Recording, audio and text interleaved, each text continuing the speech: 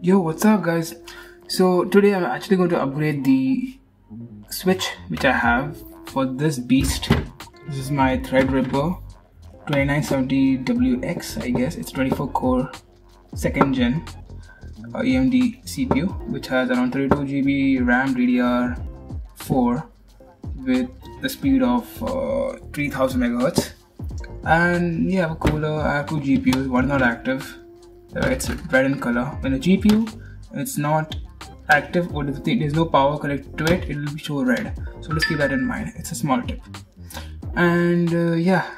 I'm, going to unbox this. I'm going to show you what I'll have in this later for another video. So don't forget to subscribe to see that.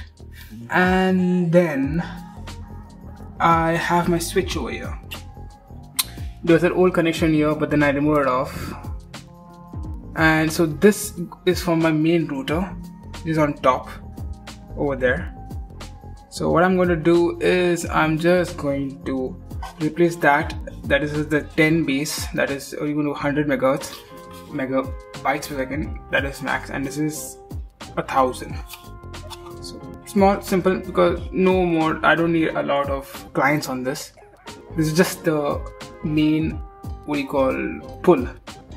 The the what do you call the second station is actually down. So it just repeats down and then it shares internet over the whole network. So yeah uh, let me, let's upgrade this. It's very simple. This it's my jitsi server which i tried out using static ip it's actually fun but then i had to unplug it just because you know unplug it just because of some other connection i wanted to add to the network. Plus uh, yeah so let's get back to this thing. Very simple. First trace the power socket sorry trace the power socket back to its origin that is here and then off it always off it. Remove the power connection out. Go back to your switch. Remove this connection out. This is the power to it.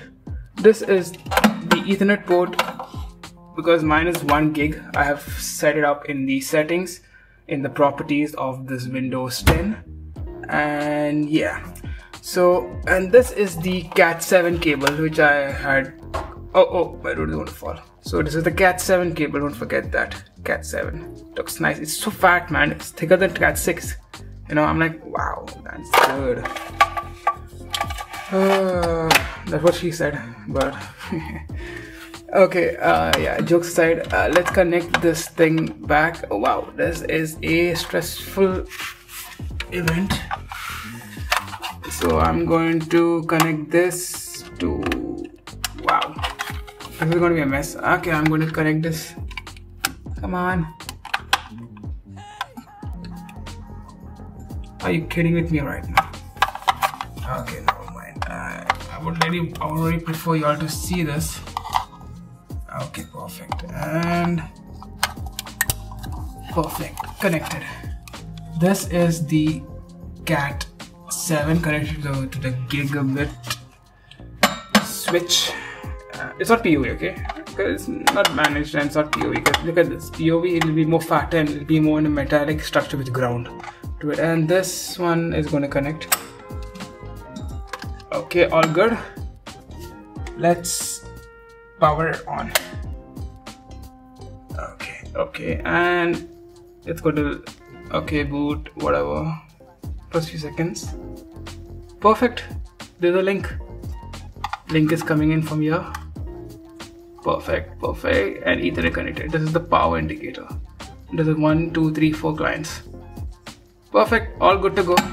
So internet is active over here because you can see this point over here. It's back of the PC and yeah guys thanks for watching.